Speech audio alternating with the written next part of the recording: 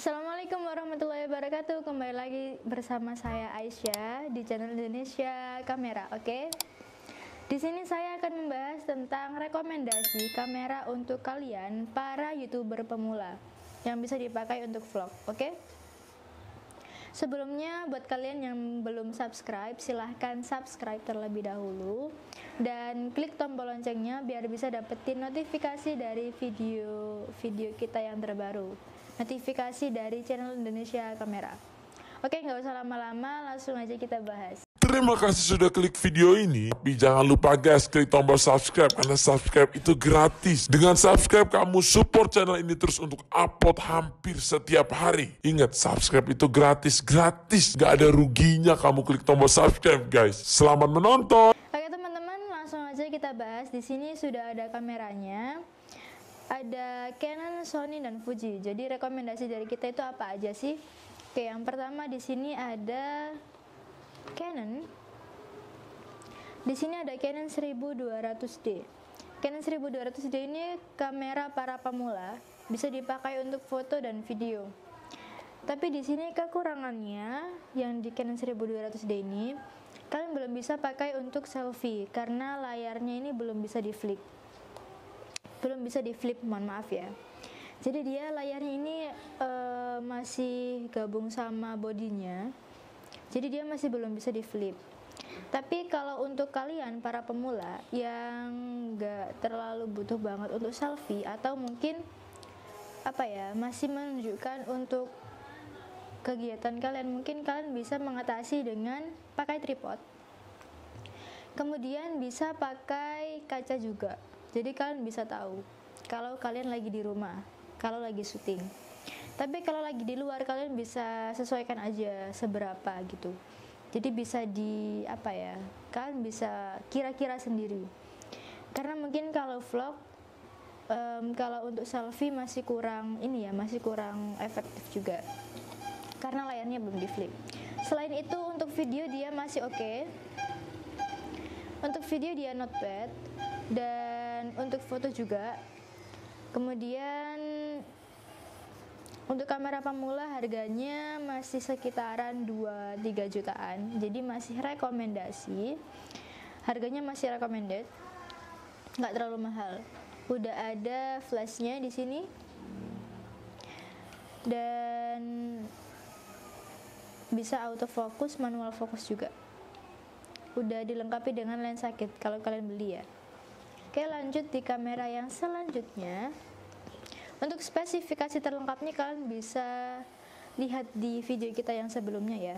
Ada tutorial dan spesifikasi untuk kamera Canon 1200D Kemudian ini ada Canon 700D kalau Canon 700D ini layarnya sudah bisa di flip, kalian bisa lihat sendiri di sini. Dia bisa di flip ke belakang. Atau kalian kalau nggak mau tunjukin layarnya bisa ditutup gini. Seperti ini. Biar nggak tampil layar kalau kalian nggak pakai. Atau waktu penyimpanan ya.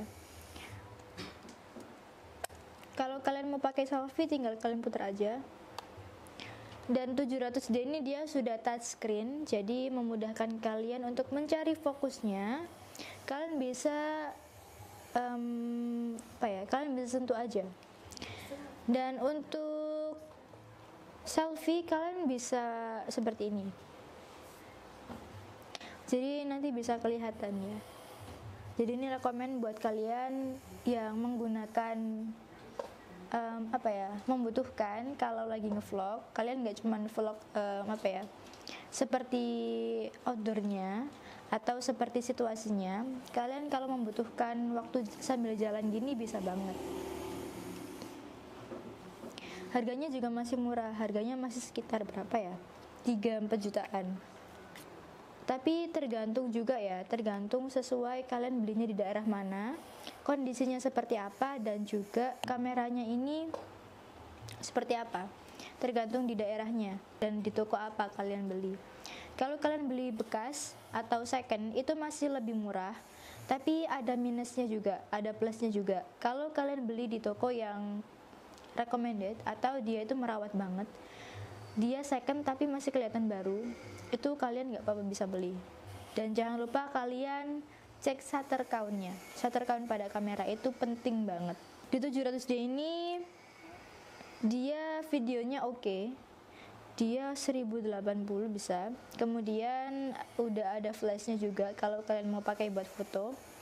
Tapi kalau video sama flash itu masih belum bisa ya setahu saya. Oke kalau ada tombol video tinggal di switch aja di switch aja ke atas. Ada off on dan ada tombol eh, mohon maaf ada icon video.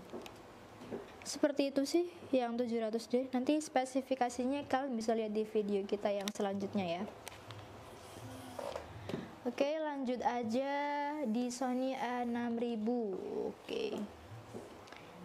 Kamera yang biasanya diandalkan sama fotogra uh, videographer Sony A6000 Untuk Sony A6000 ini dia udah full HD 1080 dan dia rekomend untuk kalian para videographer atau para youtuber vlog vlogger. Untuk Sony A6000 ini dia udah ada sensornya. Jadi kalian nggak perlu tekan-tekan tombol untuk memindah di apa ya di viewfinder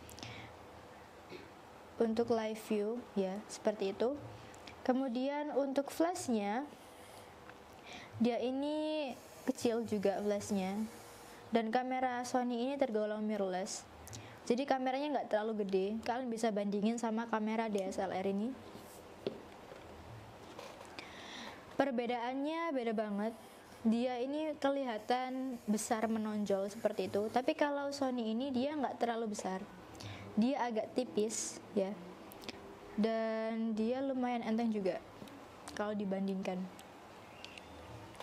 Kemudian kalau dibawa ke mana-mana itu nggak ngeberatin, apalagi kalau dikalungin seperti ini ya.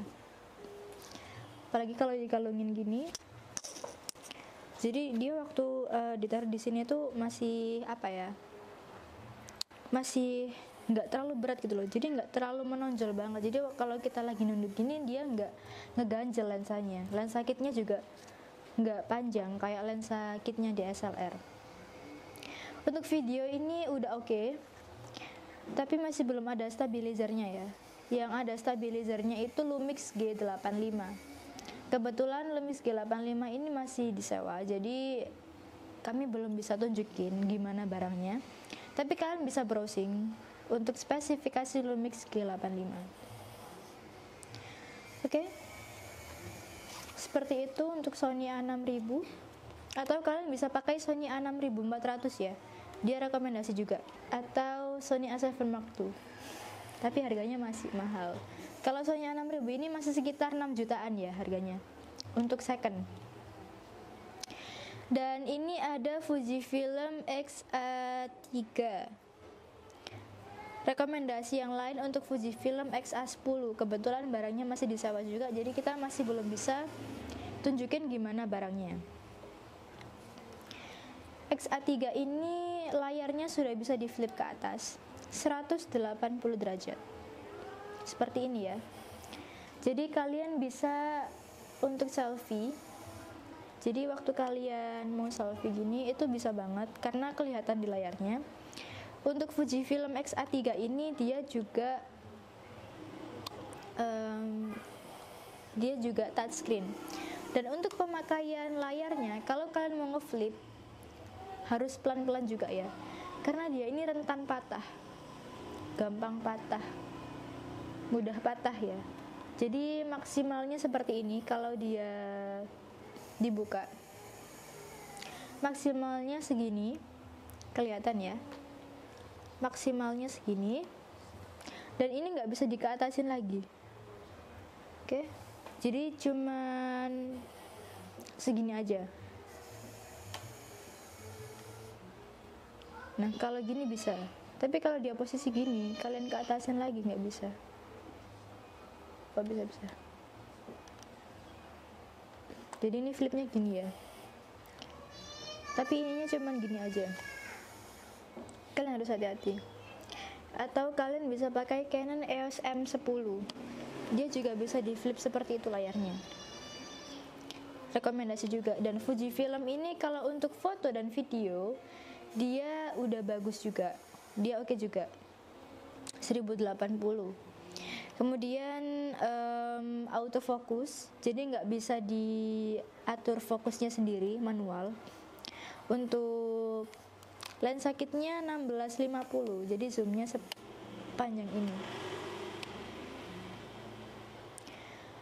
Kemudian kalau kalian mau mode video, di sini nggak ada icon video. Jadi kalian nggak perlu ubah ke mode video dulu. Jadi kalian tinggal tekan di sini ada tombol seperti icon record. Jadi kalian bisa langsung tekan aja di sini. Kalau mau buat video kalian bisa manual atau auto. Dan menyesuaikan ruangan juga. Seperti itu. Untuk spesifikasinya Kalian bisa lihat di video kita aja, nanti akan kita jelaskan secara detail. Karena ini hanya rekomendasi kamera untuk para vlogger pemula. Dan untuk Sony juga dia udah autofocus juga ya. Jadi di sini itu cuma ada untuk zoom. Ini ada untuk fokus. Jadi kalian bisa atur manual juga. Di sini juga ada di Fuji. Di Fuji ini juga ada. Ini ada untuk fokus dan uh, zoom. Tapi kalau semisalkan kalian lagi mencari objek, maksudnya kalian mau, mau kalian mau memfokuskan sesuatu, kalian tinggal klik setengah aja tombol shutternya, nanti dia akan um, dia akan ngefokusin sendiri. Dan Sony juga gitu. Untuk zoomnya di sini